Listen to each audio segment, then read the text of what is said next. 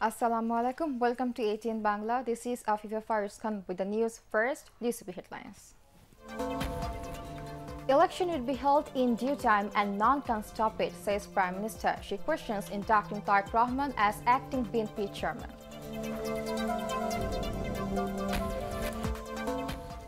Lawyers of Begum Khaleda Zia received certified copy of Zia Orphanage Trust graft case verdict. Appeal to be filed tomorrow.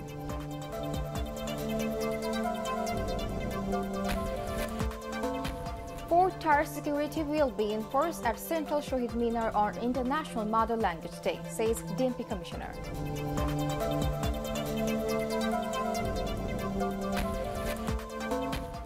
And several lakh Bangladeshis working in Malaysia are in extreme uncertainty for not getting new passports.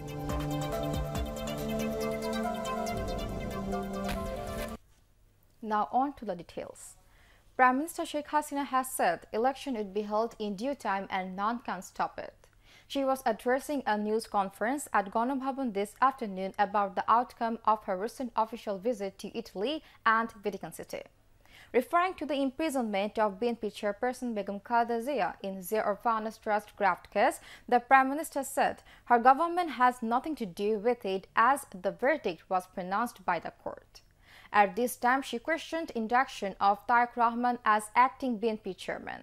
Sheikh Hasina strongly criticized the BNP for resorting to fire terrorism and violence across the country after the election in 2014.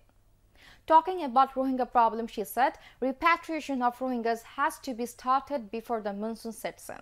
The Prime Minister flew to Rome last week to attend the IFAD annual conference. She also held meeting with Pope Francis in Vatican City. Earlier in the morning, the Prime Minister took salute at the 38th National Rally and Parade of Ansar and Village Defense Party at Shofipur in Gazipur. Speaking on the occasion, she directed the Ansar members to be on guard to combat any situation ahead of the next election, reminding the important role to curb militancy and tackle fire terrorism of BNP Jamaat Sheikh Hasina urged the Ansars to discharge their responsibilities with bravery and sincerity. Later, the Prime Minister put on badges among the Ansars.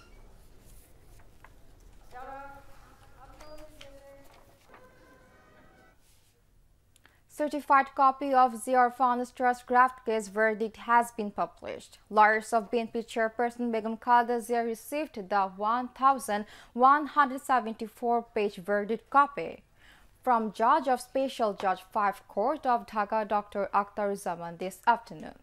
The lawyers informed that appeal petition for bail would be submitted tomorrow. Earlier, on the 8th of February, the court awarded five-year imprisonment to Begum Zia in the case filed by Anti-Corruption Commission. Meanwhile, BNP policymakers have said the government is panicked apprehending failure of conspiracy of election without Zia. At separate programs in the capital, they alleged that the government is creating various obstacles so that Begum Zia could not get fair trial through higher courts. Jatiyatawadi Mohila Dal held human chain program in front of the National Press Club demanding release of the chairperson.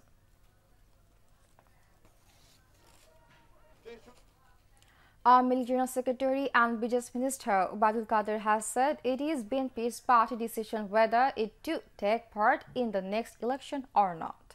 At a news conference at the Secretariat, he said any attempt of creating violence in the name of movement centering the next election would be resisted.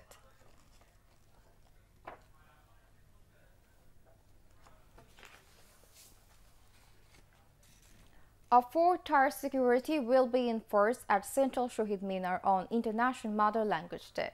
DMP Commissioner Zaman Mia stated this when he came to the Central Shohid Minar to inspect the security situation. Urging all to abide by traffic rules while going to Shohid Minar in the interest of security, the DMP Commissioner said besides police, members of various intelligence agencies including RAB will remain on high alert to tackle any eventuality.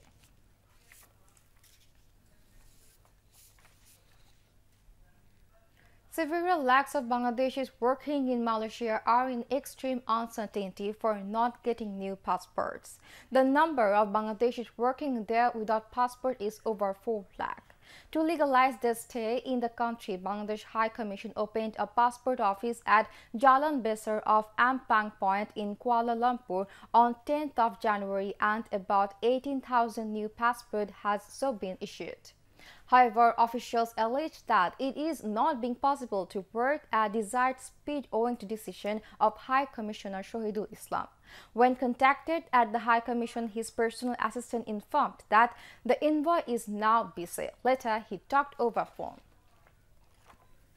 Finally, news from abroad. Five women have been killed and five injured in a shooting at a church in Russia's volatile Republic of Dagestan. Two are said to be in a critical condition. The attacker, 22-year-old Khalil Khalilov, a resident of Dagestan, was shot and killed at the scene. The eye said it was behind the attack. And that's the end of this bulletin. Allah Hafiz.